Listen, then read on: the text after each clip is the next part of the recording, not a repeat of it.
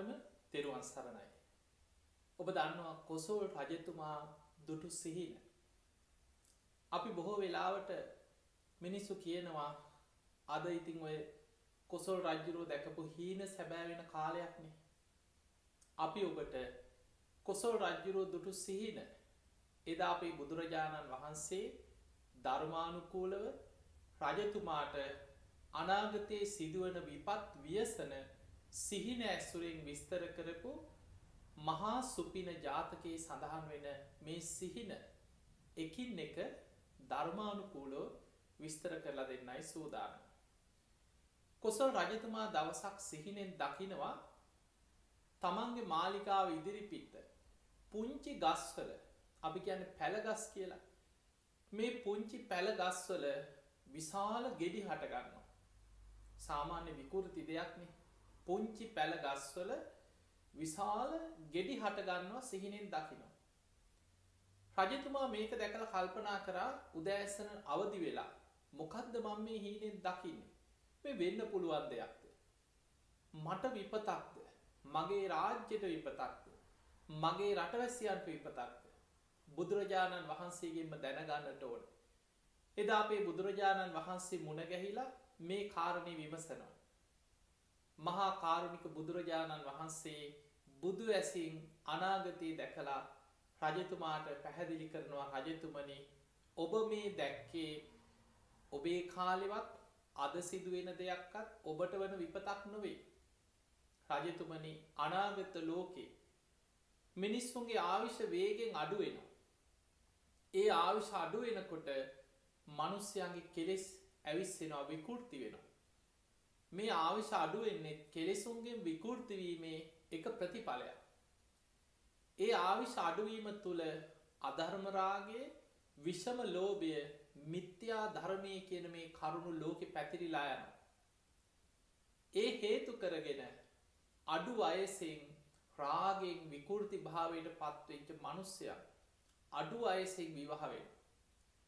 ඊළඟට තමන්ට නොගැලපෙන විවාහයක් සිදු කරගන්න සමහර වෙලාට බොහෝම වයස්ගත අය තරුණ අය සමඟ විවාහ වෙනවා. මේක පිරිමි පාර්ශවෙන් වෙන්න පුළුවන් කාන්තා පැත්තෙන් වෙන්න පුළුවන් විවාහේදී තමන්ට නොගැලපෙන විදිහ වයස් පරතර ඇතුව විවාහ වෙන. මේ අනාගත ලෝක සිදුවෙන දේවා. ඊළඟට අඩු අයසෙන් විවාහ වෙන සාමාන්‍යෙන් දරුවෙක් විවාහ වෙනකොට මේ ශරීර විවාහවෙන්න පුළුවන් වයස් සීමාවල් එදා ඉදන් දැන් අපි දන්න අපේ රටේ ගත්තොත් නීතියෙන් තියෙන නීත්‍යානුකුල වය සක්තියෙන. නමුත් මේ රාගයෙන් උත්සන්න වෙන විකෘති භාවයට පත්වෙන අනාගත ලෝකයේ පුංචි දරුවන් විවාහවෙන. ඔබ වර්තමානය සමහරලාට සමාජ මාධ්‍යෝසේ දැකළ ඇති. ලෝකයේ ලාබාලම දෙමව්පියන් සමහර දරුව හිතාගන්නවත් බෑ අවුරුදු දොළහා අවුරුදු දාහතර පහළව දරුවොත්තේ නො දෙමව්පියෝ. එදකොට මේ වගේ ඉතාම අඩු අයිසෙන් විවාහ වෙන. ඔවුගේ ජීවිත විශාල ප්‍රශ්න ගැටලු විකෘතිතාවයන් වලට පත්වෙන. රජතුමනී අනාගතයේ මිනිස්සු රාගයෙන් උත්සන්න වෙලා. විකෘති රාගේ යුක්ත වෙලා තමන්ගේ ජීවිතවල මේ වගේ කෙලෙස් තුළ විනාස කරගන්න. ඕක තමයිකවයි සිහිනෙන් දැක්කේ. එතකොට අපිට පේනවා මේ සිහින තුළ සඳහන් වෙන මිනිස්සුන්ගේ ආවිශානාගතය වේගෙන් පිරිහෙනවා කිය.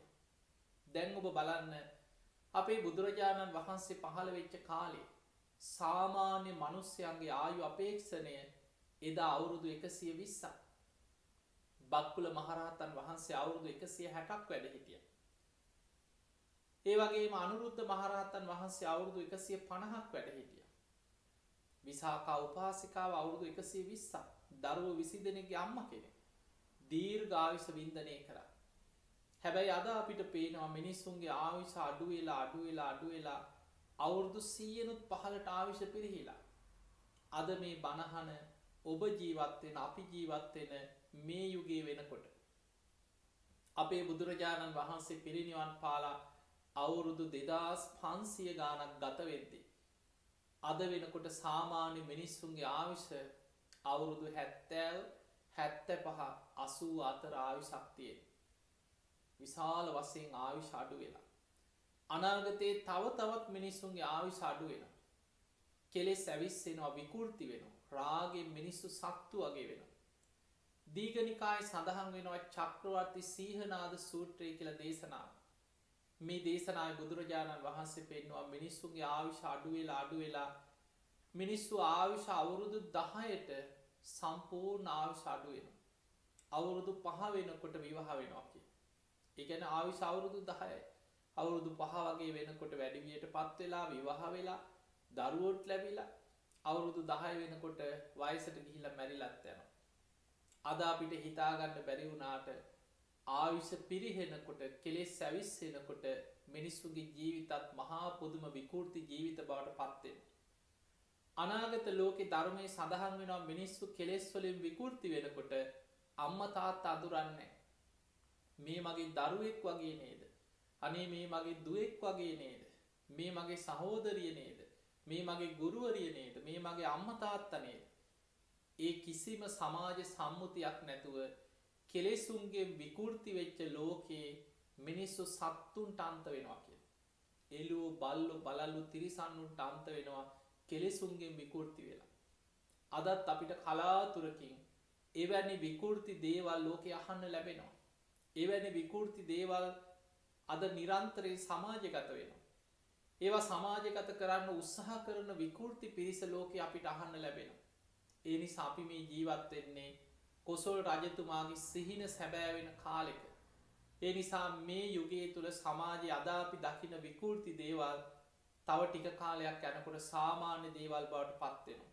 හිතාගන්නවත් බැරි කෙලෙසුන්ගේ විකෘති ලෝකයක් අනාගතය අපිට දකින්න ලැබෙන. තිය නිසා අප්‍රමාදී වෙන්න වීරිය වඩන්න ධර්මී දියුණු කරන්න ලැබිච්ච මනුස්ස ජීවිතයෙන් උපරිම ප්‍රයෝජනයක් ගන්න උත්සාහ කරන්න.